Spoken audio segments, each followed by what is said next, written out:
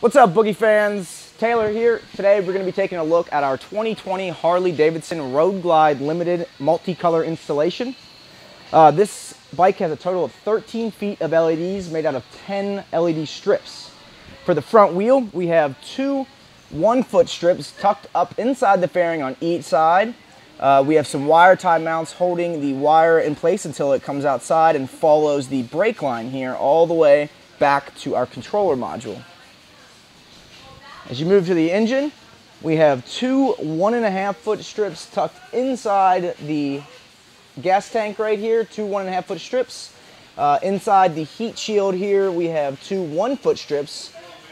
And then on the bottom underneath the frame, we have two one and a half foot strips. Now when I say two, that is, everything is mirrored. So on this side, everything's one strip, and on the other side, it's the same thing. So that is our engine kit, our front wheel, and our ground effects.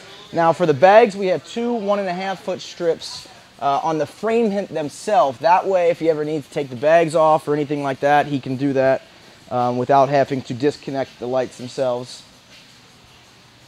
This is our touring and bagger kit on our website with one additional strand of LEDs.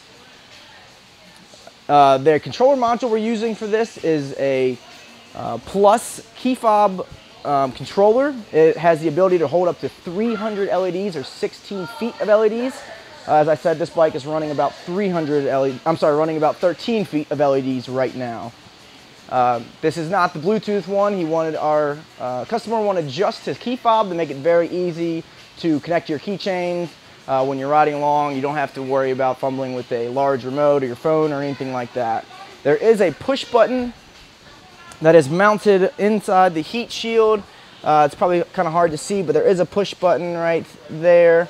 Uh, so that way he can just reach down while he's riding and hit that and that will shut his lights off. Um, everything that you see here was done in-house in Florence, Kentucky at Boogey Lights. Give us a call and get lit up today.